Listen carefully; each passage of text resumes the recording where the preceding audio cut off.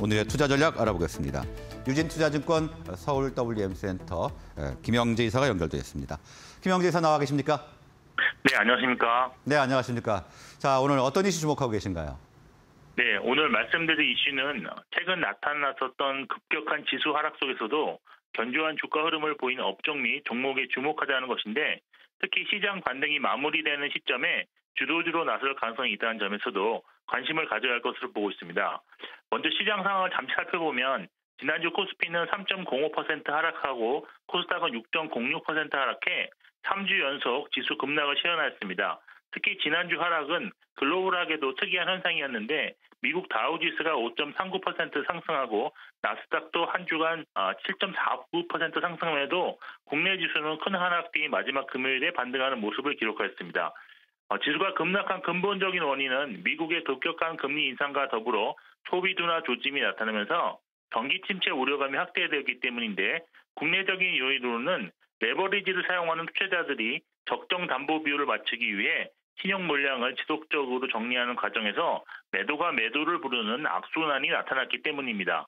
어제까지 이틀 연속 반등에 성공해 단기적으로 악성 매물이 많이 소화하였지만 특별히 개선된 재료 없이 낙폭 과대와 수급 개선으로 이루어낸 반등이므로 지난주 지수 최저점이 진바닥인지 확인하기 위해서는 좀 더 시간이 흘러야 하는 상황입니다. 만약 이번 반등이 일시적 반등으로 그치게 된다면 지난주 하락장에서도 견조한 주가 흐름을 기록한 업종 및 종목에 주목하셔야 될 것인데 그 이유는 다시 바닥권 확인 작업이 들어갈 경우에도 상대적으로 좋은 주가 흐름을 기록할 것으로 예상되기 때문입니다. 아, 지난주 하락장에서 견조했다는 의미는 비단 주가로 대표되는 주간 수익률뿐만이 아니라 기관 및 외국인 수급과 향후 실적 전망 그리고 업황 전망 등 종합적인 사안을 고려해야 하겠습니다.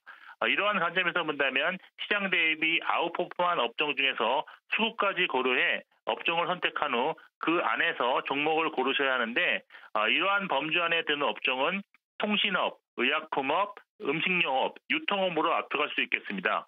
공교롭게도 지난 시간 말씀드린 경기 침체 상황이 예상될 때 주목해야 하는 방어 업종이 모두 포함되어 있는데 이번 하락의 근본 원인이 경기 침체 우려감이라는 점과 일맥상통한다는 점을 잘 보여주고 있는 현상이라고 볼 수 있겠습니다. 경기 침체 확률이 아직은 반반 정도이지만 경기 침체 시 영향을 받는 업종으로는 IT 가전, 자동차, 여행, 은행 업종이 상대적 약세를 기록할 것이고 이와 관련된 반도체, 화학, 건설 등 산업재 역시도 약세 예상된다는 점도 참고하시면 좋겠습니다. 네, 지난주 급격한 하락장에서 견조했던 업종과 종목 주목할 필요가 있다 이렇게 말씀을 주셨는데요. 자, 그러면 종목도 좀 알아볼까요? 네, 일단 두 종목을 선정했습니다. 첫 번째 종목은 셀트리온입니다. 셀트리온은 최근 7거래일간 17% 상승해 최근 가장 크게 상승한 대형주가 되었는데 7거래일간 기간이 1,600억 원 순매수했고 외국인도 300억 원 순매수 기록 중에 있습니다.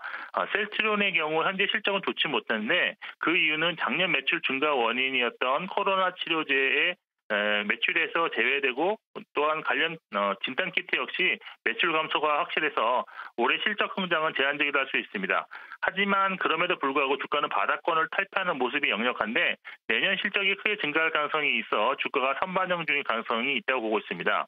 어, 하반기에는 최근 유럽 시판 권고를 획득한 아바스틴 바이오 시밀러 판매가 예상되고 내년에는 자가 면역 질환 치료제 복제약인 유플라이마가 미국에서 시판되며 현재 막바지 임상 진행 중인 복제약들도 출시할 예정으로 투자자들의 관심이 집중될 수 있을 것입니다. 기술적으로 본다면 올해 이중바닥 형성 이후 추세적인 상승 전환 시도 중인데 현재와 같은 기관의 외국인 매수가 지속된다면 상승 전환이 유력한 상황이므로 추가적인 수급 개선 역시 기대할 수 있는 구간으로 진입 중이라고 할 수 있겠습니다. 두 번째 종목은 이 시간에 소개했던 적이 있는 롯데쇼핑입니다. 롯데쇼핑은 지난주 3.1% 상승 마감에 지수 대비 좋은 흐름을 보였는데 기간이 11 거래일 순매수하면서 주가 방어를 견인했다고 할 수 있겠습니다. 롯데쇼핑의 경우 지난 3년간 적자 전표를 폐점하고 인력 효율화 작업을 진행과 동시에 5년간 적자 범위이던 슈퍼와 할인점의 체질 개선까지 완료해 올해부터 흑자 구간으로 전환할 것으로 예상되고 있습니다. 어, 부진했던 이커머스와 관련해서도 업계가 성장보다는 수익성 위주의 전략으로 추정하는 수정하는 기업들이 늘어나고 있어서 과다 경쟁이 사라지면서 적자폭도 크게 축소될 수 있을 것으로 기대됩니다. 여기에 어, 어, 팬데믹 기간 동안 큰 폭의 적자를 기록했던 영화관 사업에서 어, 지금 실적 개선을 기대할 수 있는 점도 긍정적인데 실제 최근 100만, 어, 천만 관객을 돌파한 영화도 나타나고 있어 주가 상승에 도움을 주고 있습니다. 올해 예상 순위 컨센서스는 1,551억 원으로서 어, 이는 6년 만에 순위 흑자 전환이고요. 내년까지 매출액 증가율보다는 영업이익이 더 증가하는 영업 레버리지를 보일 것으로 기대되고 있다는 점도 긍정적이라 할 수 있겠습니다. 네, 셀트리온과 롯데 쇼핑 관심 종목으로 분석을 해봤습니다. 자, 오늘 말씀 여기까지 듣겠습니다. 고맙습니다. 네, 감사합니다.